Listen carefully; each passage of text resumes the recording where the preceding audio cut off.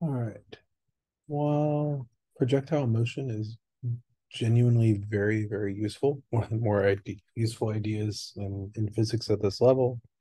It's the starting point for motion from everything from rockets to soccer balls to just trying to toss a ball of paper into a trash can.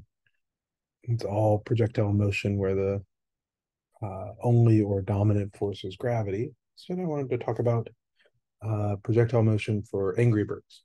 So Angry Birds is a very popular game, and internet phenomena, uh, sometime in between uh, it is after all your base are belong to us and before Flappy Birds.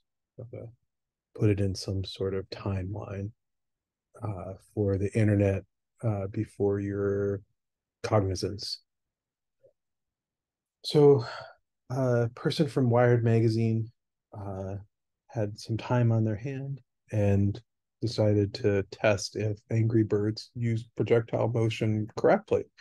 Um, so, played the game, uh, captured pixel locations for uh, birds being launched from the slingshot. So, like red here. And uh, once the bird is left contact with the slingshot, is that subsequent motion uh, in accordance with what we understand uh, for projectile motion, uh, which, you know, as we saw previously, the trajectory is going to follow in uh, an y-x plane is going to be a parabola, uh, but doesn't behave correctly? And so went through, did uh, motion capture uh, to get the information, uh, and then made plots because that's what every good person does is make plots so you can understand what's happening. And there you go. Sure enough, uh, the x coordinate, so missed a bit uh, due to problems with the motion capture,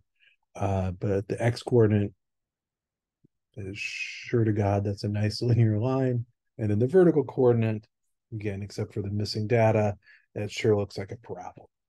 Uh, and then something you can do with this uh, that's fun um, is uh, figure out what the scale within the game Angry Birds is. So if this, these are actually our birds on Earth, uh, then the acceleration takes a particular value, and you can uh, rescale from the game coordinates into what real coordinates would have to be uh, for G to be correct, uh, assuming time is time. And the upshot of that is uh, those are some big birds. Um, the scale of the slingshot is the slingshot is almost five meters tall. So that means that the individual birds, even like a smaller one like red, is about a meter tall. That's about half your height. So these are some big birds. um, so just a little fun with uh, projectile motion, our understanding of projectile motion, and seeing that in everyday life, including video games.